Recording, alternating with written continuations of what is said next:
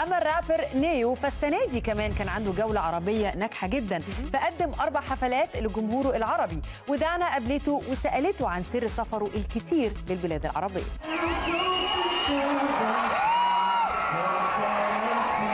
You visited Qatar and Bahrain. Absolutely. What is it with the Middle East? You like it? I get a lot of love over here, man. I feel like, you know, the people over here still love and appreciate music, and everybody knows that's what I'm all about. So I come over here and it, it feels like home.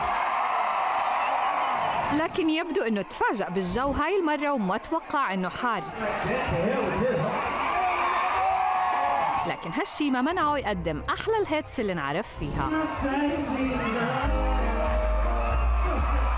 I'm happy, man. I'm in a great place in life. I got healthy kids and a beautiful wife and, and a lovely life, and hope that everybody in white has a good time the way that I'm having a good time.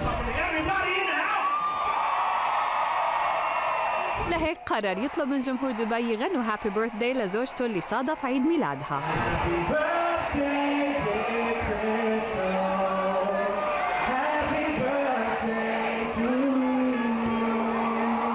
2016 is really packed for you. You got married, you had a kid. Yeah, yeah. Tell us all about it. I got married February 20th this year. Uh, my beautiful wife, Crystal Smith, uh, had my third child. Hi to Maddie and Mason. Those are, those are my first two lovelies. And uh, again, man, I'm just happy. فخلال العشر سنوات الماضية أمتعنا نيو الحائز على مجموعة جوائز جرامي بأروع أغانيه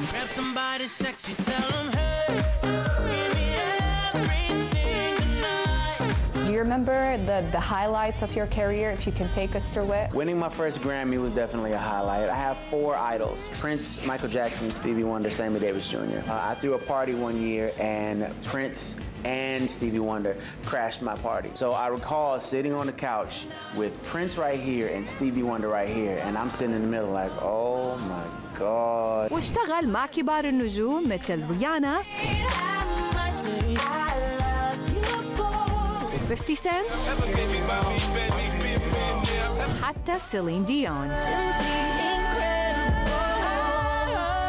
ونيو معروف بأنه ستايلش وأزياءه بتشبه أغانيه وشي واحد دايما بيميزه I was waiting, which hat is he gonna wear today? Ah. Yeah, is it true you wear a new hat every single day? It gets kind of difficult to have that one favorite hat, you know, because people talk crazy. It's like, didn't he wear that hat two seasons ago? I like hats, but I'm, I'm trying to get to that place where I'm a bit more comfortable without my hat. It's like second skin, like I feel naked without it. But at the same time, I don't feel like there's anything necessarily wrong. I like to accessorize. It's, it's part of who I am. And does your wife like borrow them from you?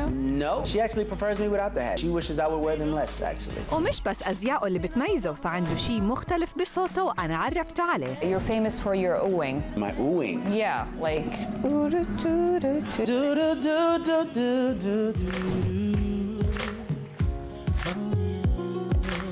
How to do the perfect Ne-Yo. You just educated me on something I didn't know that. perfect neo ooh will be the one that feels right. Don't let it be contrived. Don't let it be thought out. Just feel the music, and when you feel it, go for it.